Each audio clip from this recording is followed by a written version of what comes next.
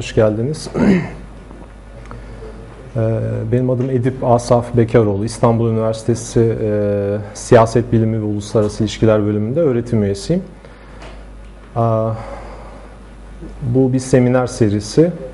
Ee, üst başlık e, sekülerizm e, dünü, bugünü ve ötesi idi galiba yanlış hatırlamıyorsam.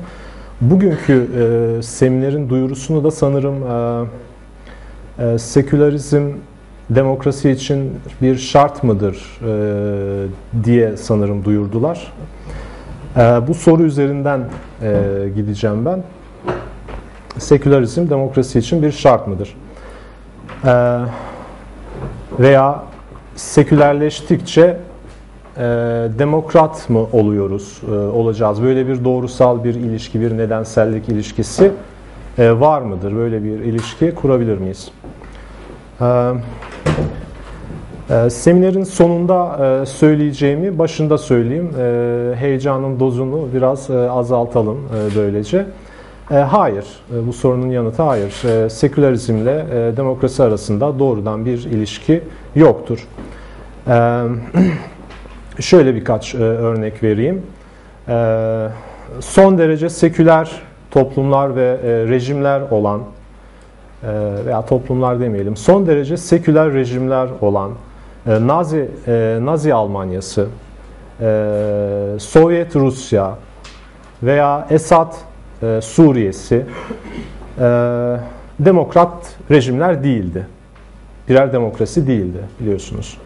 Dolayısıyla bir nedensellik ilişkisi yok. Yani modernizmin bize vaaz ettiği toplumlar sekülerleştikçe demokratik olacaklardır ilişkisi, böyle bir nedensellik ilişkisi yok. Eğer olsaydı ee, Nazi e, Almanya'sı da demokrat olurdu, e, Sovyet Rusya da demokrat olurdu ama değildiler. Veya Esad e, Suriye'si. Tamam, bir nedensellik ilişkisi yok. Peki bir şart mıdır seküler olmak? Yani bütün demokratik rejimler seküler midir? Böyle bir ilişki var mıdır? Nedensellik ilişkisi yoksa eğer. Buna da hayır diyebiliriz. Ee, mesela İran bir dini rejimdir ama aynı zamanda bir demokrasidir. Tabi bu demokrasiyi nasıl tanımladığınızla da ilgili biraz. Benim tanımımı söyleyeyim size. Demokrasi çok basit olarak iktidarın e, seçimler yoluyla e, başa gelmesi, yani iktidarda kimin olacağına seçimler yoluyla karar verilmesi ve aynı zamanda iktidardakinin yine seçimler yoluyla, barışçı yollarla e, iktidardan alaşağı edilmesi. Kısaca demokrasi budur. Yani e, bizim demokrasi deyince aklımıza gelen işte eşitlik, özgürlük, bilmem ne işte azınlık hakları bunlar falan hep tali e, özellikleridir demokrasinin. Ve bunlar ayırt edici özellikleri değildir. Yani eşitlik derseniz komünizm de eşitlikçi bir rejimdir. Özgürlük derseniz sosyalizm de özgürlükçüdür. Hatta faşizm de her bireyin, şeyin, vatandaşın eşit olduğunu falan söyler. Dolayısıyla demokrasinin alameti farikası, e, ayırt edici özelliği seçimdir. Başka da bir şey değildir. Bu anlamda İran'da bir demokrasidir ve e, seküler bir e, rejim değildir. Öte yandan daha biraz daha yakına gelelim. Bugün yaşadığımız olaylara bir bakalım. Arap Baharı sebebiyle bir takım rejimler devrildi. İşte demokrasiye geçildi. Ee, Tunus, e, Mısır, Libya'da bir rejim değişikliği e, söz konusu oldu. E, ve buralarda sekülerizm bir şey değil, bir mevzu, bahis bir konu değil. Hatta e, sekülerizm üzerine bir tartışma e, oradaki e, demokratik süreci e, baltalayabilir, belki de. Dolayısıyla pek verimli bir e, tartışma bile değil oradaki şeyler için, rejimler için. Dolayısıyla sekülerizm ile demokrasi arasında ne bir nedensellik ilişkisi vardır ne de bir işte sekülerizm demokrasinin ön şartıdır e, gibi bir e, sonuca varabiliriz. Eee ee, bugün e, işte sekülerizmin modeli olarak kabul edilen e, ülkeler, daha çok Batı Avrupa ve Kuzey Amerika, e, batılı ülkeler diyelim kısaca. Batılı ülkelerde e, sekülerizmin e, bir krizinden e, söz ediliyor.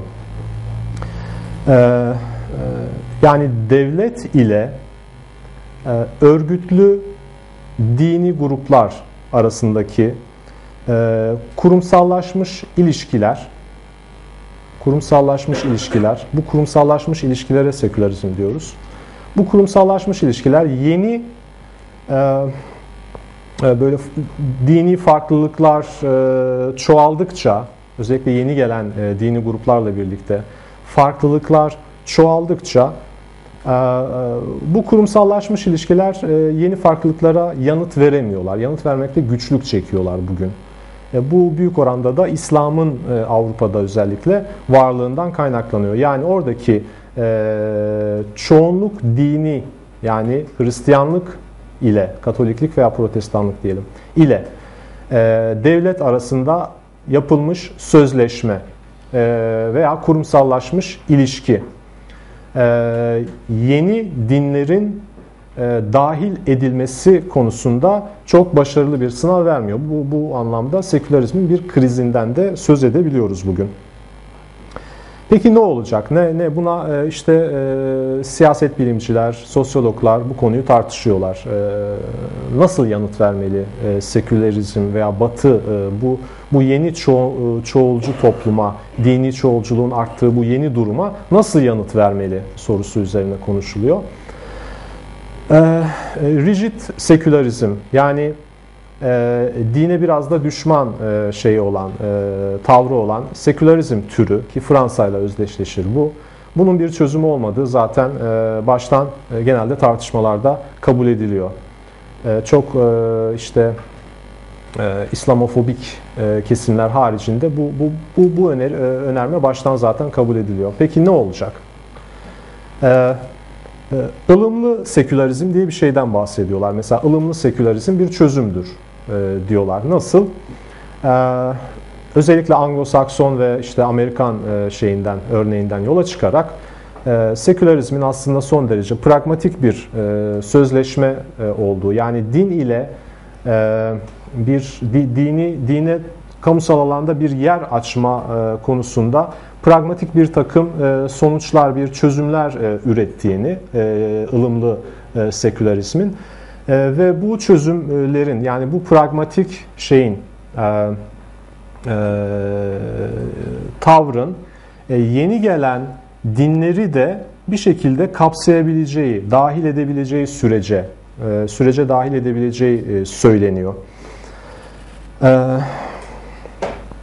ancak e, bu model yani ılımlı sekülerizm e, genelde genelde değil her yerde aslında e, çoğunluk dinleriyle e, ilgili olduğunda e, başarılı oluyor. Yani bir toplumda çoğunluğun sahip olduğu din ve onun temsilcisi kurum ile e, ılımlı seküler model e, dine kamusal hayatta bir yer açabiliyor. E, ve genelde bu e, bir toplumsal barış ile sonuçlanabiliyor. Ancak azınlık dinleri söz konusu olduğunda aynı model ılımlı sekülerizm e, maalesef çok başarılı bir e, sınav e, henüz verebilmiş değil. Peki ılımlı sekülerizm sorunlu. Peki ne olacak? E, başka şeyler var mı? Öneriler var mı? Bir de e, alternatif bir sekülerizm üzerine düşünelim diyenler var. Yani din ile, örgütlü din ile e, devlet arasında mesafeli bir ilişki, karşılıklı bir e, otonomi e, olsun diyenler var. Bu ne demek? Dine ait bir alan olsun, devlet buna müdahale etmesin. Din orada otonom bir şekilde varlığını sürdürsün. Ee, devlete de din müdahale etmesin. Bu her ikisi içinde yani sekülerler içinde, dindarlar içinde en ideal çözümdür. Birbirlerine şey yapmadıkları, müdahale etmedikleri bir karşılıklı otonomi, mesafeli bir e, ilişki. Ee, bu da maalesef özellikle azınlık dinleri söz konusu olduğunda çok e, elverişli bir e, şey değil, model değil. E, çünkü bu otonomi söz konusu olduğunda veya eşit, her dine eşit mesafe, devletin her dine eşit mesafede olması söz konusu olduğunda azınlık dinleri hep dezavantajlı bir konuma düşüyorlar. Çünkü her toplumda daha e, çoğunluğun e, bağlı olduğu, mensup olduğu e, ve e, kurumsallaşmış, örgütle, örgütlenmiş e, bir e, bazı dini gruplar var. Bunlar bunların e, e, imkanları, e, devlet ile müzakere imkanları her zaman çok daha e, iyi. Dolayısıyla azınlık dinleri yine e, şeyde kalıyor, e, e, periferide kalıyor ve yeterince e, diğerleriyle eşit bir e, seviyede e, kendine yer bulamıyor. E, Peki yine sonda söyleyeceğim şeyi biraz daha yine burada söyleyeyim. E, benim kanaatim e, sekülerizm dilini e, tamamıyla bir kenara bırakmamız gerekiyor aslında. E, çünkü birçok model var. E, sekülerizmin birçok e, tanımı e, var. 8-10 tane tanım ben hemen yapabilirim. 10-15 tane model yani seküler devlet modeli sayabilirim.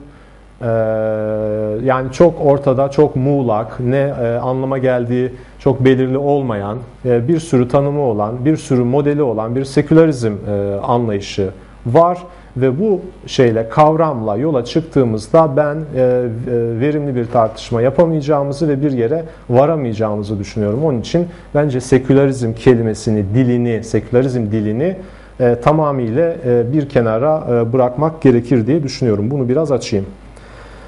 Ee,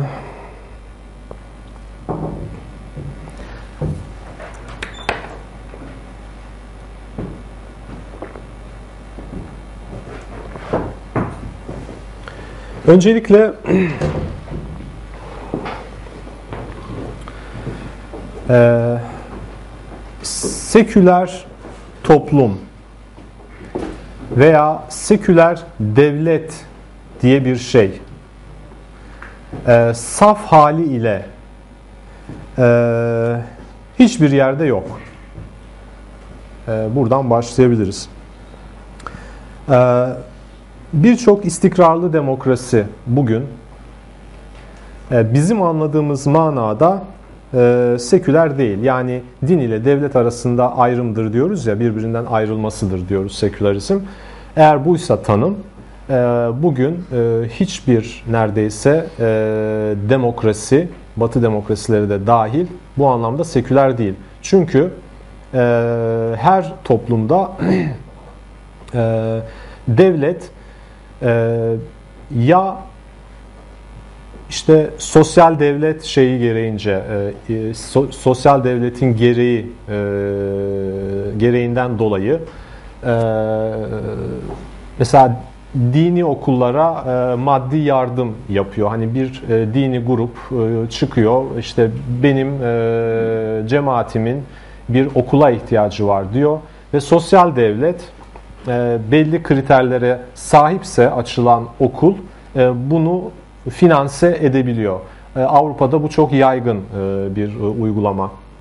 Veyahut Fransa gibi çok rigid bir şekilde e, din ile devletin birbirinden ayrıldığını varsaydığımız e, ülkelerde bile e, ne yapacağız bir, biz bu Müslümanlarla e, diye sorduklarında işte şöyle bir şey e, e, yol bul, bu, buldular. İşte bir şey olsun, bir otorite olsun, Müslümanları temsil eden bir şemsiye yapılanma olsun, bir otorite olsun ve devlet ile bu otorite e, şey yapsın, konuşsun, tartışsın, Müslümanların neye ihtiyacı var, e, ne istiyor, talepleri nedir bunları konuşsunlar, tartışsınlar ve bir yere varsınlar. Yani Fransa'da bile kurumsallaşmış din ile bir ilişki kurma çabası var. Veyahut İngiltere gibi ülkelerde resmi kilise var. E, Anglikan Kilisesi İngiltere'nin resmi kilisesidir. İşte ve e, Lordlar Kamerası'nın doğal üyesidir. E, Lordlar Kamerası Anglikan Kilisesi'nin e, ayini ile başlar. E, dolayısıyla bizim anladığımız manada din ile devletin tamamıyla birbirinden ayrıldığı e, bir seküler devlet şu anda dünyanın hiçbir yerinde yok. E, eğer sekülerizm derken dinin e, özel hayatla sınırlandırılmasından, e, dinin e, bireysel bir mesele haline getirilmesinden, dinin subjektif bir bir mesele haline getirilmesinden veya dinin toplumdan çekilmesinden, geri çekilmesinden yani böyle şeyler anlıyorsak sekülerizm deyince bu hiçbir toplumda veya devlette tam olarak e, gerçekleşmiş değildir. E, ve bunun her toplumda dereceleri vardır. Yani nihai olarak, saf olarak işte dinin toplumdan çekildiği, işte bireysel hayata hapsedildiği, subjektif bir mevzu haline dönüştürüldüğü bir şey toplum şu anda söz konusu değil. Ama bunun e, çeşitli dereceleri var. Her ve her ülkede bu bu bu derece, bu derecenin şey e, seviyesi farklı. E, e, devlete gelince yine az önce bahsettiğim gibi örgütlü din ile devletin e, net bir şekilde birbirinden ayrıldığı e, Fransa'da dahil olmak üzere bir e, bir örnekte e, yok.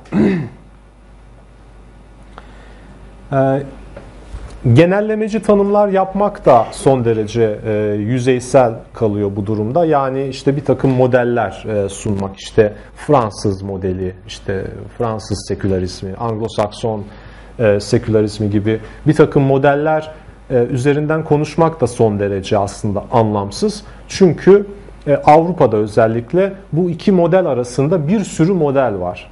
Yani Hollanda'ya giderseniz ayrıdır, e, Almanya'ya giderseniz ayrıdır. E, bu ikisi arasında e, birçok bir, bir katman e, var.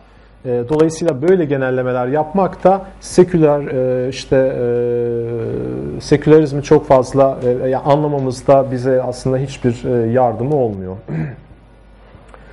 Hatta ülkeleri bile ülkeleri bile tek tek bir model haline getirmek de sakıncalı. Hani tamam sadece Anglo-Sakson modeli veya Fransız modeli olmasın. Arada işte ne bileyim Hollanda modeli olsun. E, bu da sakıncalı. Çünkü e, her devlette belli dönemlerde farklı uygulamalar da söz konusu. Değil mi?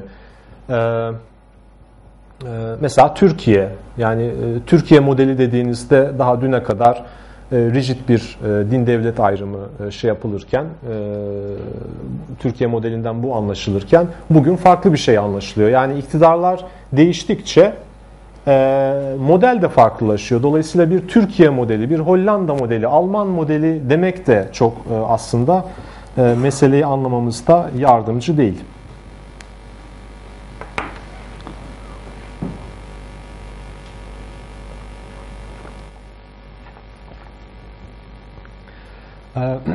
Amerikan modeli biraz e, daha esnek bir model olarak öne çıkıyor. E, ideal bir model olarak. Ama o da e, dezavantajlı gruplara dezavantajlı grupların yani azınlık gruplarının hayatta kalabilmesi için son derece hayati olan sosyal devlet e, anlayışından e, uzak e, bir örnek. Yani mesela Avrupa'da bir dini grup, Hollanda'da mesela herhangi bir dini grup özel bir okul aç, açmak istediğinde ve belli bir eğitim kalitesine sahip bir şablon sunduğunda devlet onu e, her şeyle finanse ediyor. E, çünkü Ha bu iyi bir şey mi veya kötü bir şey mi e, bilmiyorum ama e, böyle bir şey var. Orada belli imkanlara e, sahip değil. Yani insanlar oraya gitmişler, e, sosyoekonomik seviyeleri e, iyi değil. İşte bir, bir takım yardımlara ihtiyaçları var ve Hollanda devleti çıkıyor. Tamam diyor sen belli şartları yerine getirirsen ben her şeyini seni finanse edeceğim diyor. E, bu onların hayatta kalması için bir şey, e, bir imkan. E, oysa Amerika'da böyle bir şey yok. Tamamıyla kendi yağınızda kavrulmanız gerekiyor. Ama kendi yağınızda kavrulurken e, bir takım işte daha köklü, daha e, çok şeyi olan, mensubu olan dini grupların yağı, hani kavruldukları yağ çok daha şey tabi azınlıkların kavruldukları yağdan çok daha mümbit, çok daha bereketli. Dolayısıyla başlar başlamaz hemen bir dezavantajlı konumun daha da şey dezavantajlı hale düşmesinden bahsediyoruz. Dolayısıyla Amerikan modeli de böyle değil. Hem e, şeyler e, daha eski kurumsallaşmış dini gruplar Amerika'da bir takım e, evet din ile devlet birbirinden kesin olarak ayrılmış olsa bile Amerikan modelinde bir takım dini gruplar mesela protestan gruplar özellikle bir takım informal yollarla siyaseti etkileyebilme şeyine sahipler. Kanallarına sahip olabiliyorlar. Oysa daha ufak azınlık, e, yeni gelmiş, e, yeni e, şeyler, dini gruplar bu imkanlara sahip olamıyorlar.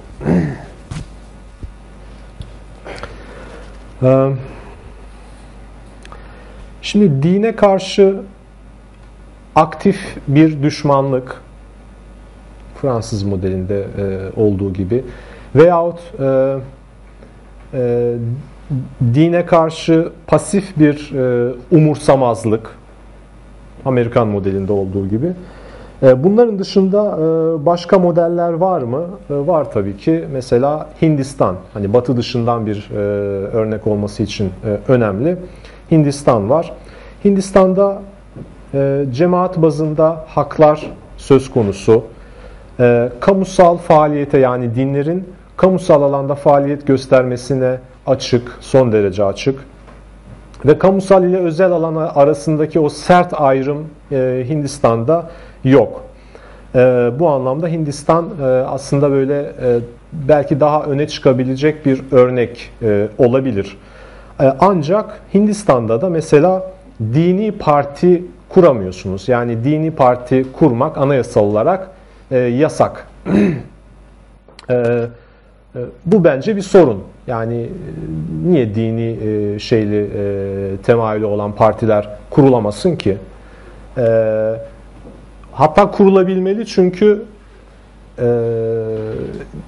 siyasi müzakere siyasi müzakere bir takım sorunların halledilmesinde çok önemlidir. Yani açık siyasi müzakerenin önünü kapatırsanız e, problem problemi e, çözmüş olmuyorsunuz. Sadece bir kısmını maskelemiş e, oluyorsunuz. Dolayısıyla Hindistan modelinin de bir takım zaafları bence söz konusu.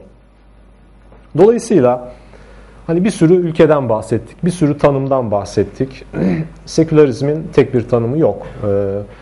Çok aslında karmaşık, çok müphem, çok belirsiz, çok anlamlı bir kavram e, sekülerizm.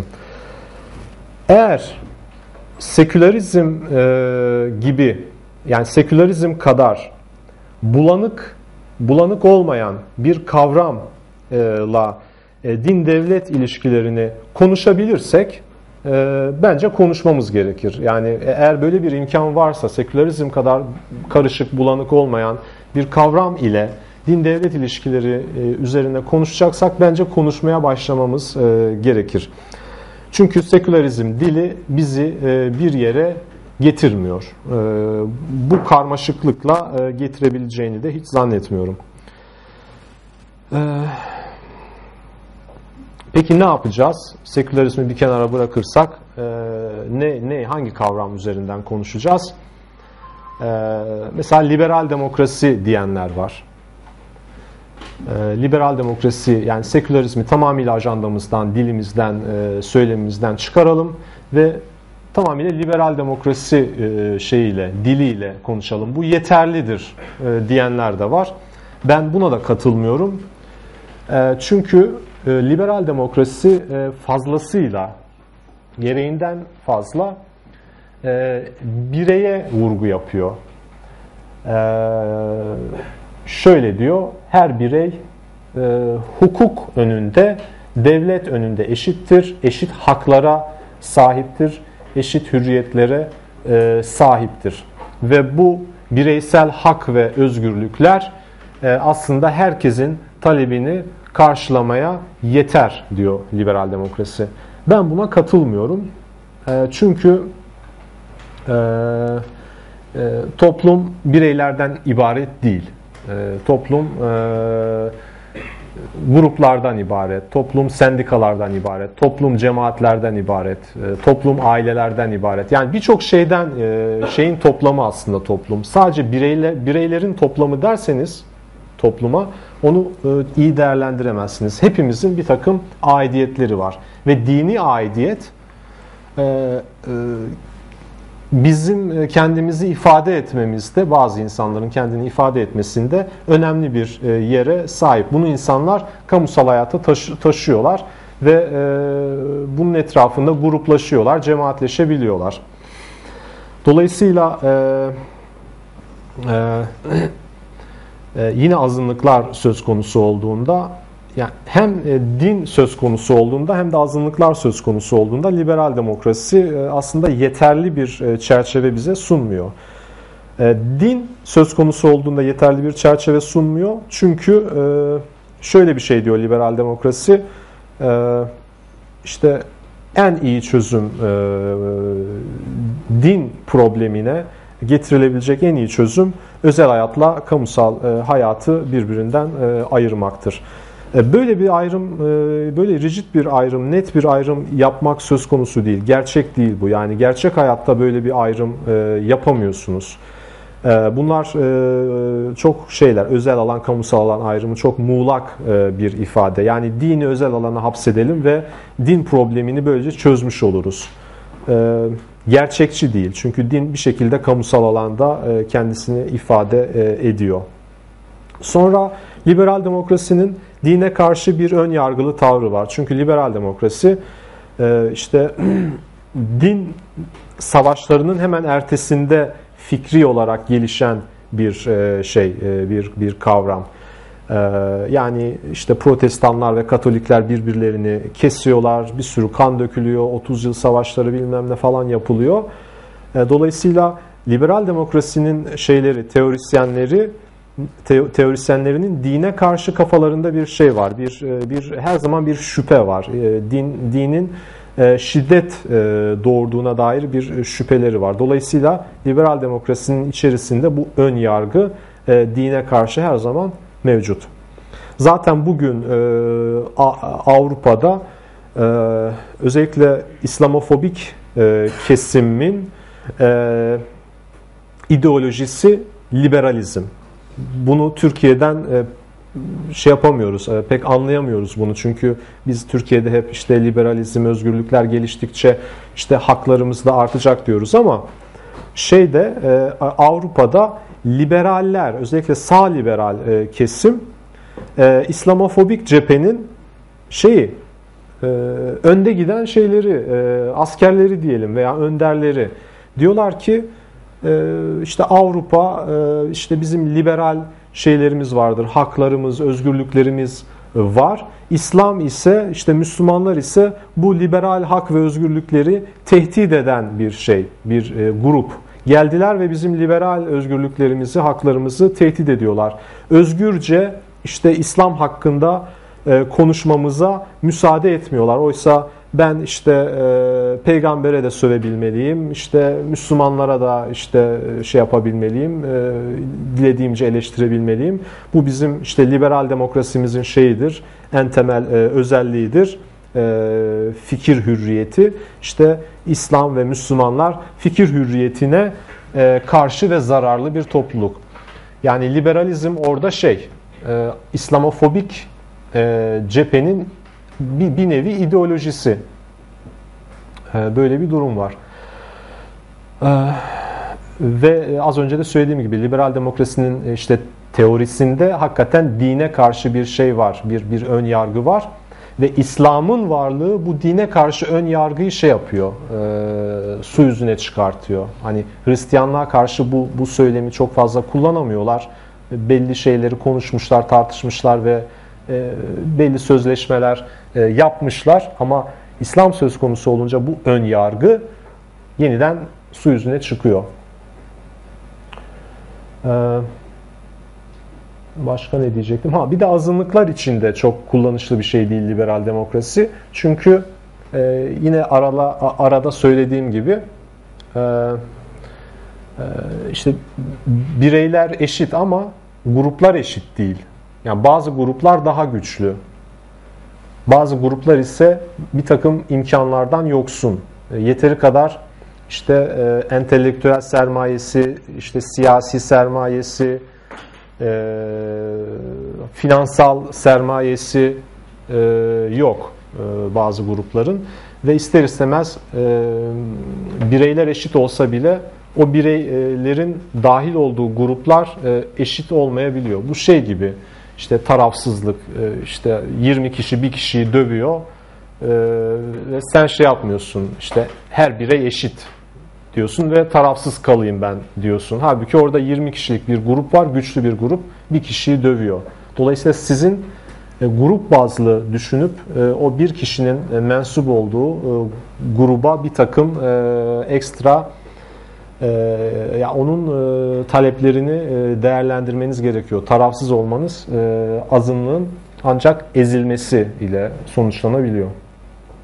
Dolayısıyla liberal demokrasi de yetersiz. Ee, peki ne yapalım? Ben e, yani bunun üzerine e, hala düşünüyorum. Yani e, şeyim yok. Dört başı mamur bir cevabım yok buna. Hala düşünüyorum. Kısaca şöyle bir şey hani kafamdaki.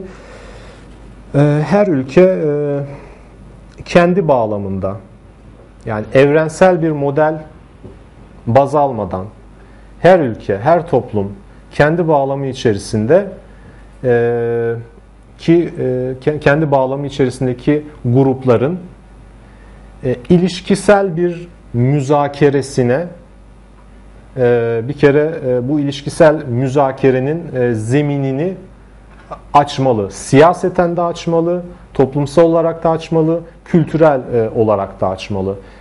E, siyasi bir ilişkisel müzakere e, e, müzakere e, bir model şey yapmadan yani bir modeli baz almadan böyle bir müzakere şart.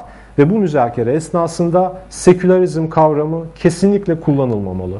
Yani bir ön şey, e, bir e, ne bileyim ön şart olarak işte seküler bir dil kullan benle müzakere ederken seküler bir dil kullan gibi bir ön şart kesinlikle olmamalı. Yani sekülerizm gibi bir dil, e, kavram kullanılmadan e, toplum içerisindeki gruplar ilişkisel, siyasi bir müzakere sürecine girmeli ve bu müzakerenin nasıl gerçekleşeceği e, her toplumda farklı olmalı, esnek olmalı ve her toplum kendi içerisinde bir çözüm yolu aslında bulabilir.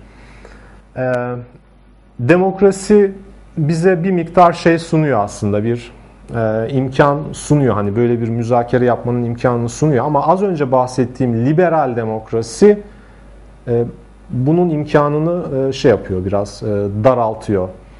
E, yani her grubun e, eşit olduğu bir ilişkisel müzakerenin e, zemini e, zeminini e, sağlamak e, her devletin e, vazifesi olmalı ve bu müzakere her ülkede farklı şekillerde esnek bir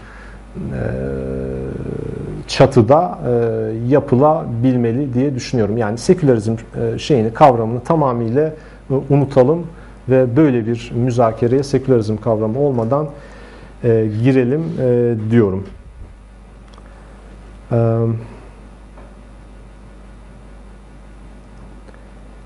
Ben e, burada e, noktalıyım. Teşekkürler.